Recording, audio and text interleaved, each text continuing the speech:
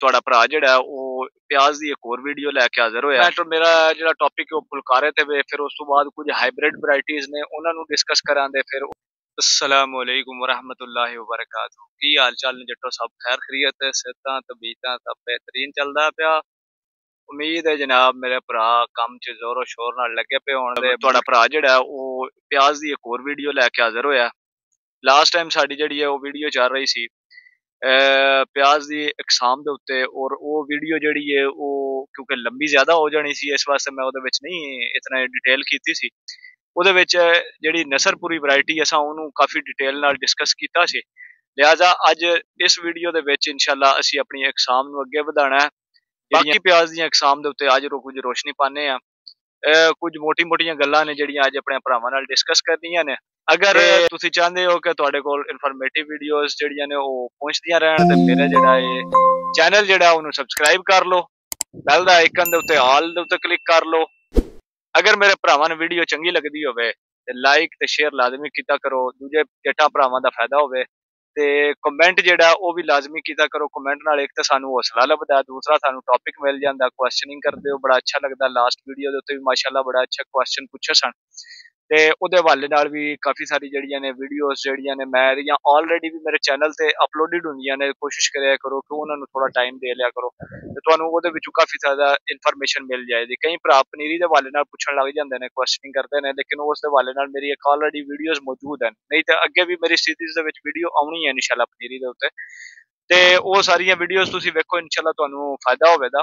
ਨਹੀਂ ਤੇ ਮਜ਼ੀਦ ਅੱਗੇ ਇਨਸ਼ਾਅੱਲਾ ਇਹ ਸੀਰੀਜ਼ ਚੱਲਦੀ ਹੈ ਵੀ ਉਹਨੇ ਚੱਲਦੀ ਰਵੇ ਦੀ ਅੱਲਾ ਖੈਰ ਰੱਖੇ। ਜਿੰਨੀ ਤਰ੍ਹਾਂ ਅਸੀਂ ਪਿਆਜ਼ ਦਾ ਪੂਰਾ ਪੂਰਾ ਪੋਸਟਮਾਰਟਮ ਨਹੀਂ ਕਰ ਲੈਂਦੇ, ਉਨੀ ਦੇਰ ਜਿਹੜਾ ਉਹ ਅਸੀਂ ਇਹ ਵੀਡੀਓਜ਼ ਜਿਹੜੀਆਂ ਨੇ ਸੀਰੀਜ਼ ਇਨਸ਼ਾਅੱਲਾ ਚਲਦੀ ਰਵੇ ਦੀ ਤੇ ਆਓ ਟੌਪਿਕ ਵੱਲ ਚਲੀਏ। ਇਸ ਤੋਂ ਪਹਿਲੇ ਕਿ ਜਿਹੜਾ ਨਾ ਉਹ ਵੀਡੀਓ ਲੰਮੀ ਹੋਵੇ।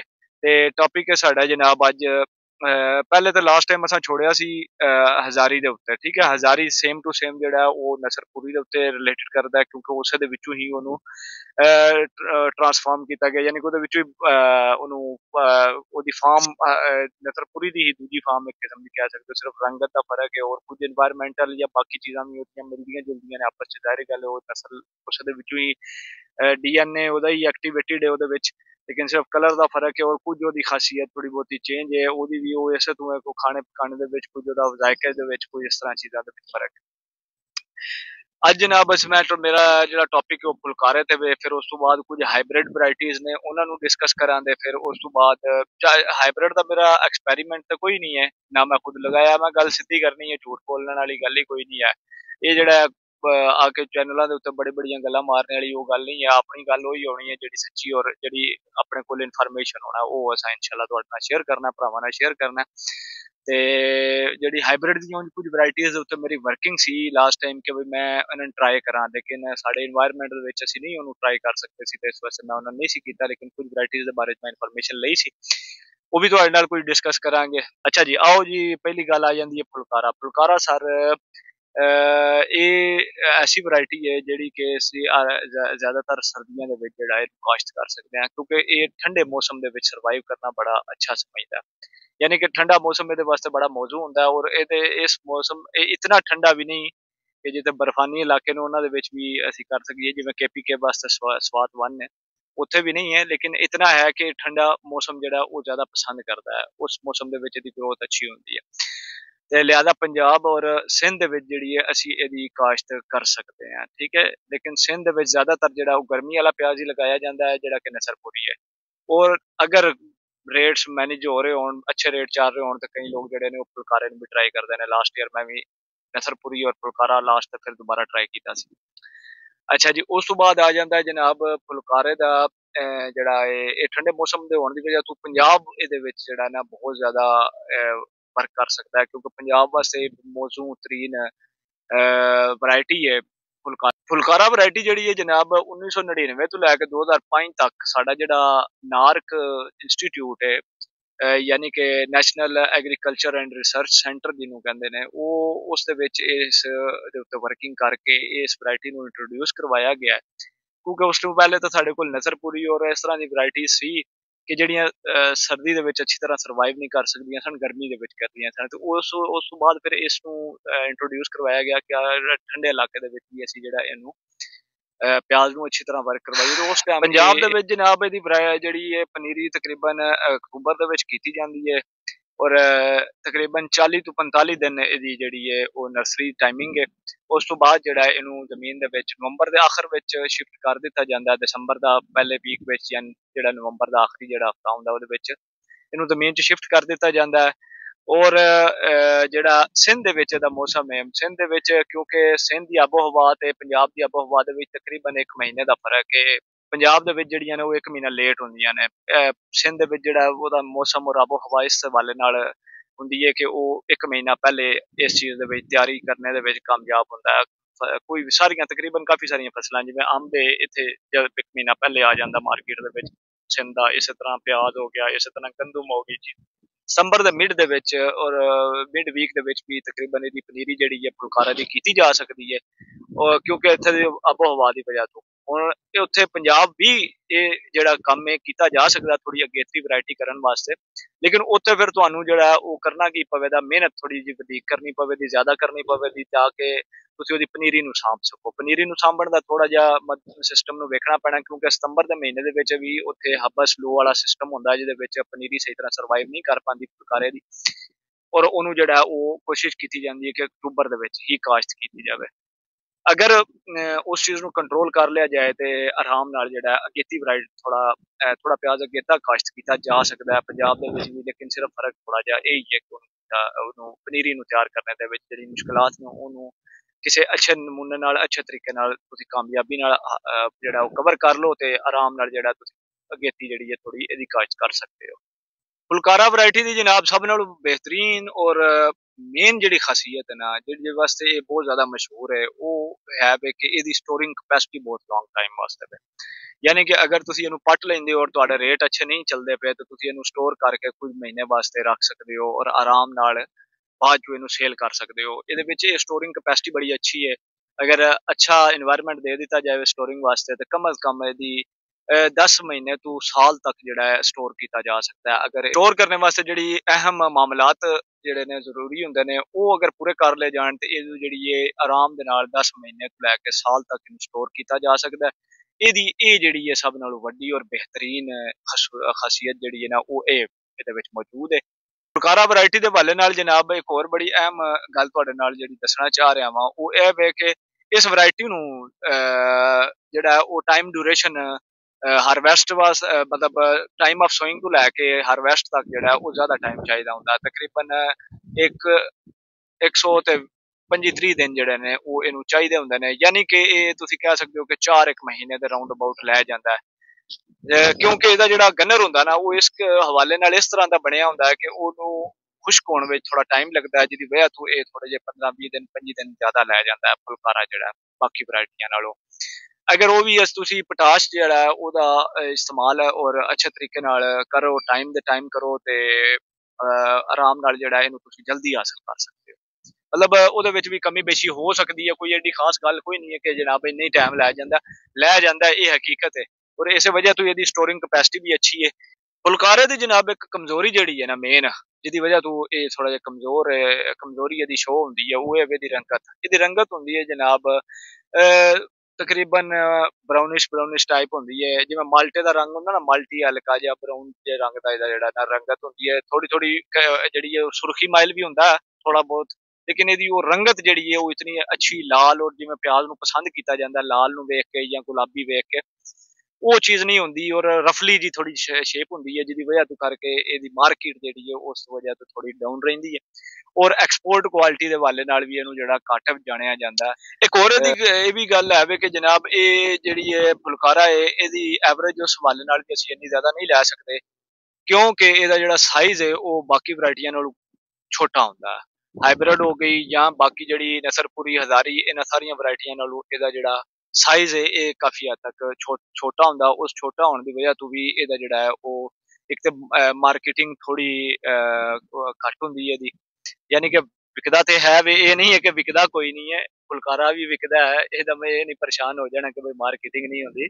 ਵਿਕਦਾ ਹੈ, ਲੇਕਿਨ ਇਹ ਕਹਿ ਸਕਦੇ ਹੋ ਕਿ ਉਹਦੇ ਨਿਸਬਤ ਦੂਸਰਿਆਂ ਦੀ ਰੇਟ ਨਾਲੋਂ ਇਹਦਾ ਰੇਟ ਥੋੜਾ ਜਿਹਾ ਘੱਟ ਹੁੰਦਾ। ਜ਼ਿਆਦਾ ਨਹੀਂ ਘੱਟ ਹੁੰਦਾ, ਲੇਕਿਨ ਥੋੜਾ ਜਿਹਾ ਫ਼ਰਕ ਹੁੰਦਾ ਇਹਦਾ। ਸਿਰਫ ਔਰ ਸਿਰਫ ਇਹ ਦੋ ਮੇਨ ਰੀਜ਼ਨਸ ਦੀ ਵਜ੍ਹਾ ਤੋਂ ਜਿਹੜਾ ਇਹ ਮਸਲਾ ਬਣਦਾ ਹੈ ਇਹਦੇ ਨਾਲ ਫੁਲਕਾਰਾ ਨਾਲ।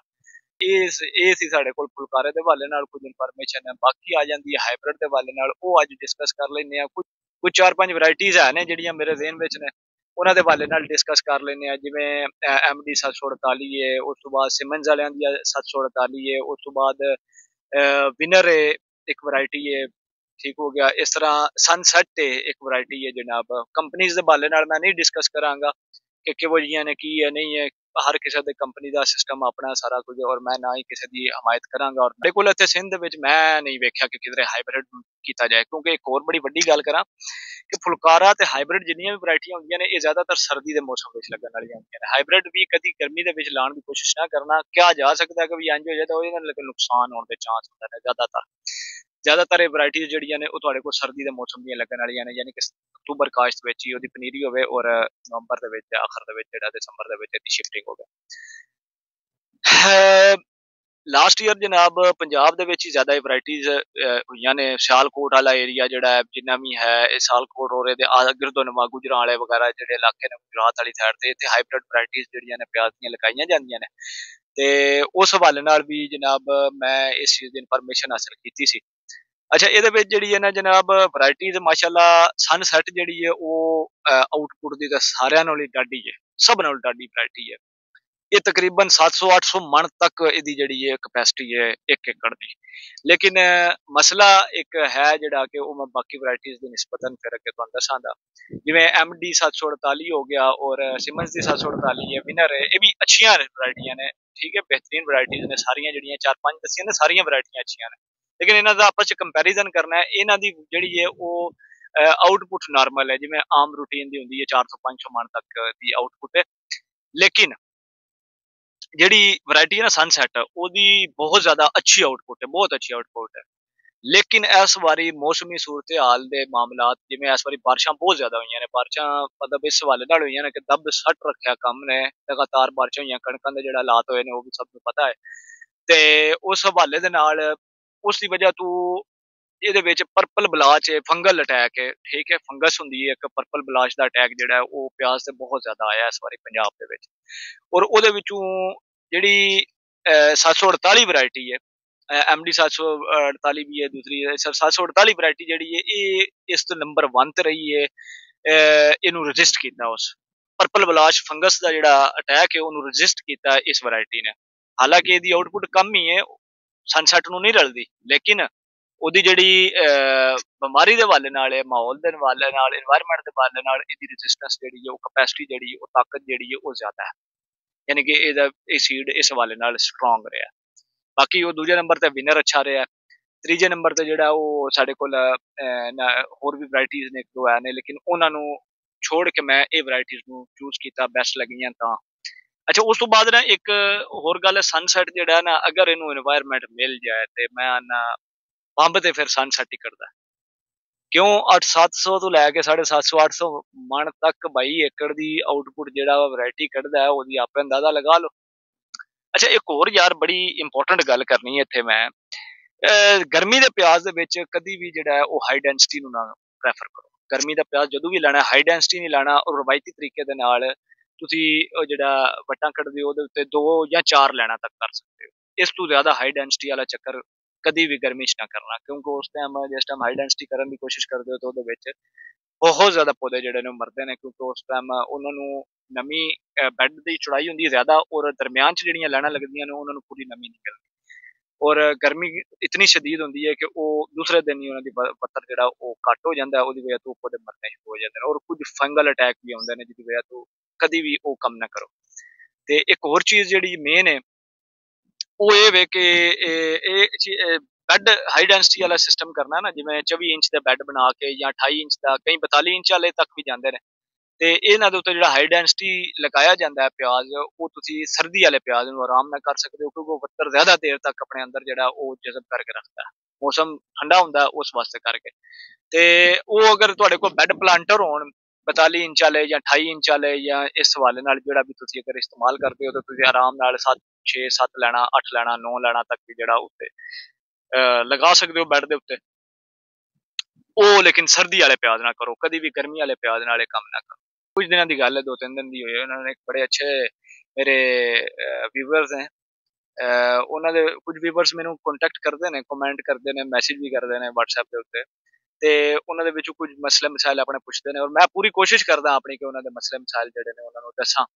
ਤੇ ਉਹ ਸਿਆਲਕੋਟ ਏਰੀਏ ਤੋਂ ਸਨ ਤੇ ਉਹਨਾਂ ਬਾਈ ਨੇ ਮੈਨੂੰ ਕੰਡੀਸ਼ਨ ਦੱਸੀ ਤੇ ਉਹ ਪਰਪਲ ਬਲਾਜ ਦਾ ਬਹੁਤ ਹੈਵੀ ਅਟੈਕ ਸੀ। ਉਹਨਾਂ ਲਗਾਇਆ ਵੀ ਨਸਰਪੁਰੀ ਸੀ।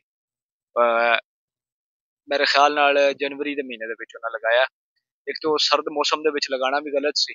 ਤੇ ਬਹਰਹਾਲ ਉਸ ਤੋਂ ਬਾਅਦ ਚਲੋ ਮੌਸਮ ਸਾਜ਼ਗਾਰ ਹੋ ਗਿਆ, ਫਰਵਰੀ, ਮਾਰਚ ਅੱਗੇ ਮੌਸਮ ਸਿੱਧਾ ਹੋ ਗਿਆ, ਲੇਕਿਨ ਇਸ ਟਾਈਮ ਜਿਹੜੀ ਪਿਛੇ ਲਾਜ ਬਾਰਿਸ਼ਾਂ ਹੋਈਆਂ ਨੇ, ਉਹਨਾਂ ਬਾਰਿਸ਼ਾਂ ਦੇ ਵਿੱਚ ਬਹੁਤ ਹੀ ਹੈਵੀ ਅਟੈਕ ਹੋਇਆ ਉਹਦੇ ਉੱਤੇ ਪਰਪਲ ਬਲਾਜ ਦਾ।